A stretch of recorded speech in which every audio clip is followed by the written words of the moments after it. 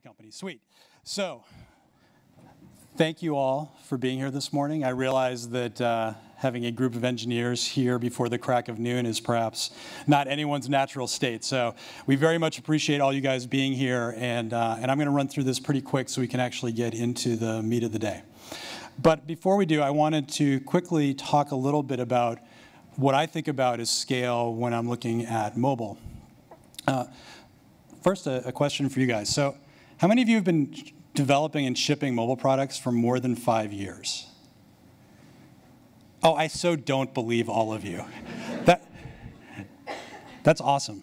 How many of you have been doing it for less than one year? All right.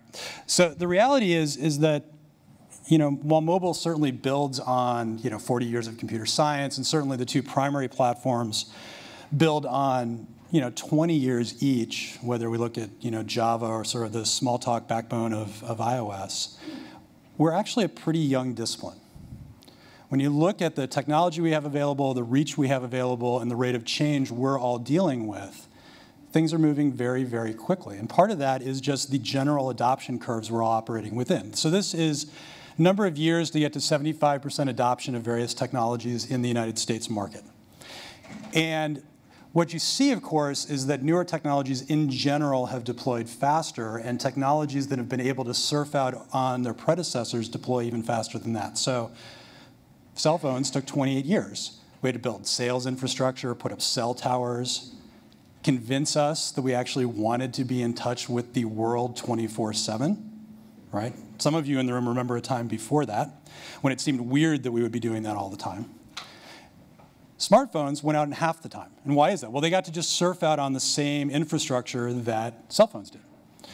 Well, you had software in, right? App stores moved out very, very quickly. And what most of us are doing is trying to ship software out through these. So the period we have to adapt to change, very, very small. So First, let's just talk about actually building great products and developing at scale. And you're going to hear a lot about this today. But one of the key transitions, right, is that we went from desktop, where we had to put software in boxes for crying out loud. You know, we had to compete for end cap space. Does anybody actually, anybody in this room have to, you know, deal with trying to get software into an end cap in a store? Right, that not the most fun. You didn't ship that often. You might have shipped software that you never updated, right? Because it went out in a box and you were done. And then, you know, the web came along, and uh, we will kind of pretend that IE5 didn't happen. Other than that, this was actually made things quite a bit simpler. Continuous deployment, continuous release, continuous you know, integration. Wasn't this wonderful? And we built all these habits around that speed and ease. And then mobile came along. In a lot of ways, mobile actually looks like embedded development right? You're very close to the hardware. You're worried about threads, you're worried about memory limitations, and we had to relearn a bunch of habits. Um, and of course, deployment got harder again too, whether we're talking about going out through App Store approval processes or dealing with fragmentation on Android. So a lot of the talks today will, will run through what different organizations did to solve these problems. The second one is, and of course with, with Facebook, right, we knew this was happening. We had really clear signals that the mobile transition was coming. Uh, the first at scale event was about data. We care about this quite a bit. So we knew it was coming. Facebook has a secondary element, like we have this general transition of computation to mobile. But on top of that, Facebook's just a better product on mobile. Like I have friends who will go to a you know party, they'll sit down at the party and they'll pull out the laptop and they'll be posting from the, the, the event, but my friends aren't normal, right? normal people have cell phones. And so we had these two tailwinds coming in behind us, both general technological transition and Facebook being a better product on mobile. We're also a culture of experimentation, moving quickly, trying shit, right? There's the big banner, move fast and break things up on the wall, right? So we should have been pretty good at this. And the reality is this was an extremely difficult transition for us. And Jocelyn will be talking a little bit later this morning. He's going to go into a fair amount of detail of what we went through trying to get through this transition. What new techniques we had to build, what technologies we explored, where we were optimizing sort of for our ease versus optimizing for the experience of users.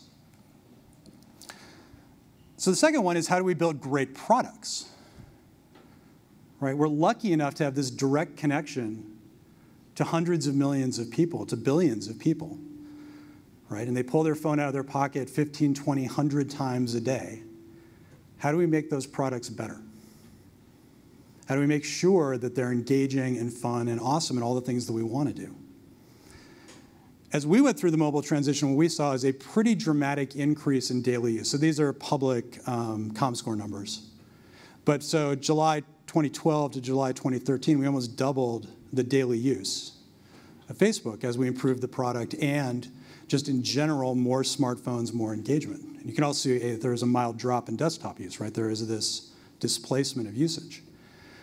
But I think the more interesting one is actually overall media trends. So this year is a pretty special year. For the first time, television will not be what most Americans spend the most time on every day. So until last year, basically since the emergence of television as a communication medium, television has been where people spend the most time every day. And this year it'll be a little over four hours, where digital overall is over five hours. But the curve that everyone in this room is hopefully watching is this little gray one, right? So this is the mobile component of overall digital. And uh, I'm not, you know, the best data guy, but the slope of that curve is kind of interesting. And so it's pretty, whoa, ah, I'm so excited about mobile. so if we look out a year or two, right, the dominant form of media consumption is going to be on mobile, right? So how do we build the right products for that? How do we expect that everyone who's using our products is going to be looking at them 100 times a day, 200 times a day, for hours? So the third one is growth. So there are 5 billion cell phone subscriptions overall in the world. There are around 2 billion smartphones, around 2 billion internet connections.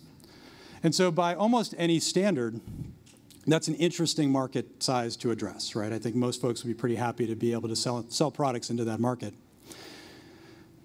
How do we build products for all of those people? And then at Facebook, what we're, we're concerned about is how do we actually increase the number who have a persistent data connection? Because, of course, if you go to the developing world, what you see is very intermittent data connections. You see 2.5G connections. You see morning fill-ups of data. And so how are we going to build products that work well as those billions of people start getting their first smartphones? How do we handle offline well? How do we handle 2.5G well?